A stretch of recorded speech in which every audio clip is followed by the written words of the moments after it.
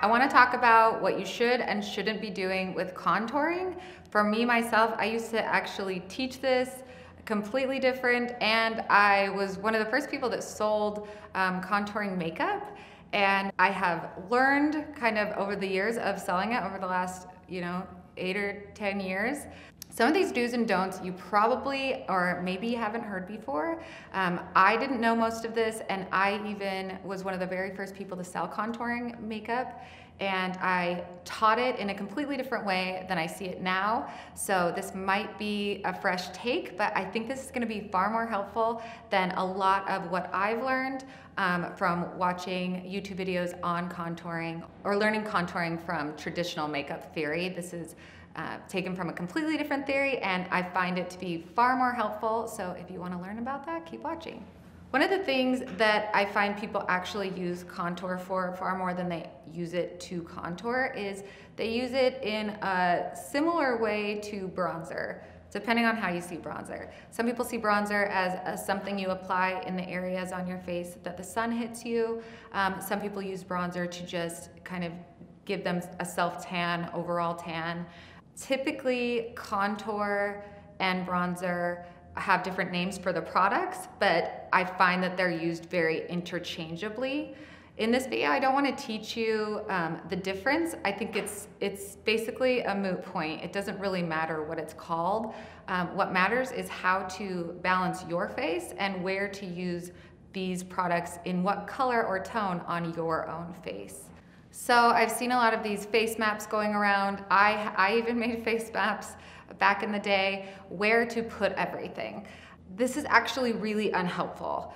Um, yes, we all have, uh, you know, we mostly all have two eyes, a nose, and a mouth, but as, aside from that, we have such different sculpt to our face that the way that we add shadowing or contouring and the way that we add highlight is going to be different, not just because of the sculpt of our face, but also just because of the the actual skin, complexion, sun damage, everything goes into why we put the things where we put them. The current perspective or trend on contouring is basically just um, how to get a Kardashian face on your face. The reason that I find that really limiting and really imbalancing for people is because there's so many beautiful shapes of a face. While that shape is very beautiful, to just apply it indiscriminately to every face will tend to look dirty, it will tend to look messy, um, it will be very hard to blend, and ultimately it just won't be bringing out what's really beautiful about your face and balancing your own face. One of the trends that has become really popular is basically the idea that as long as you put the contour just a little bit higher on your face, um, you're going to get a facelift. So as long as everything's applied higher, it's going to lift your face. I have a problem with this for two reasons. One, I don't know that everyone needs a lifted face. I don't know that that's even how facelifts work.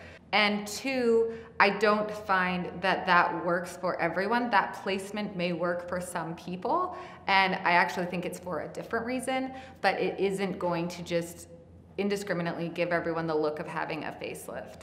A lot of what we're taught with contouring also is based on um, what the most prime contouring would be for one particular face in their 20s or teens. It's really not well applied to anyone beyond that or anyone with any different shape to their face. For instance, um, having a really chiseled out um, cheekbone is, is and can be very beautiful. Although as you age, typically your cheekbone gets more chiseled out. You lose volume in your face, your, your bones tend to stick out more as you age because you have a lot less of that flexibility in your skin. You have a lot less voluptuous skin. So where it might have given you a lot of balance to get a little bit more of a chisel before, it's now actually pushing your balance off because it's creating uh, gaunt look or kind of a gray look. Oftentimes also, as we're aging, we are losing vibrancy in our skin. So when you were young, maybe you needed to use a ashy tone to get that contoured look. And now if you were to use an ashy tone, it would just make you look dead. So you want to definitely be assessing how you're applying this depending on how your face currently looks, not how you used to do it, and not how someone who is 20 years old is doing it, and specifically looking at what is the actual sculpt of your face and what are the things that you want to highlight and diminish. I think the main thing that contouring is typically actually used for by the masses and not makeup artists is to even the skin tone, to add a little color where you want a little color. And ultimately, I think that's the far better way to use it. If you wanna learn a little bit more about how I do that, go to my complexion video. I use a very unique theory and approach to makeup. And if you have found a lot of frustration with the way that you were you have been doing your makeup and the results that you're getting, whether it's how your makeup lasts, how you look in pictures, how you look in various lightings, um, that you don't look like yourself, that your makeup has texture and you don't like that, you just want it to look like skin, you have come to the right place. I can help you with all of that. If you want to start from the beginning, I highly recommend going to my theory videos or you can just catch up on the complexion video and I can kind of teach you how to do what we're talking about here.